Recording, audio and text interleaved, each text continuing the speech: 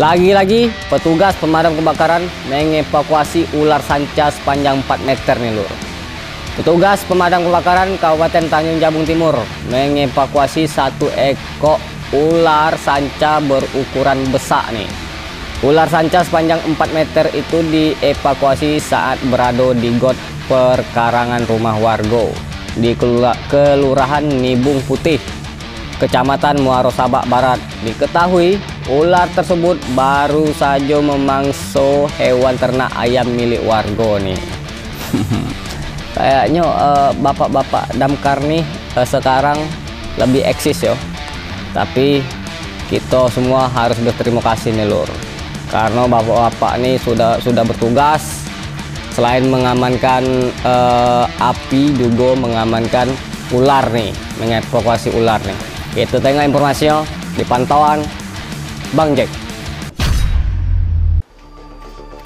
Petugas pemadam kebakaran dan penyelamatan Kabupaten Tanjung Jabung Timur tampak berjibaku saat mengevakuasi ular sanca berukuran besar di perkarangan rumah warga di RT 3 Kelurahan Nibung Putih Kecamatan Muara Sabak Barat. Ditemukannya ular sanca dengan panjang 4 meter itu berawal dari laporan pemilik rumah yang bernama M. Syadat dan ular tersebut didapati terjebak di dalam got aliran air rumahnya.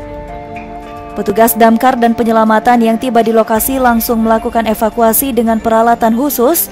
Setelah hampir satu jam, akhirnya ular sanca yang meresahkan warga di Kelurahan Nibung Putih ini berhasil dievakuasi petugas damkar. Ular sanca berukuran besar ini diketahui baru saja memangsa ternak ayam milik warga sekitar.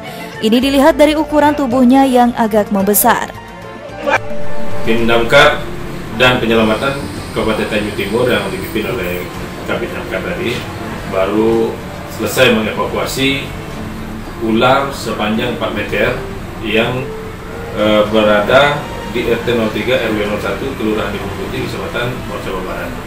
Nah, ular ini tersebut e, merupakan ular piton jenis sanca yang baru selesai memangsa ayam dan terjebak di got sehingga e, dievakuasi oleh tim Damkar pada sekitar lebih pukul 8 pagi tadi.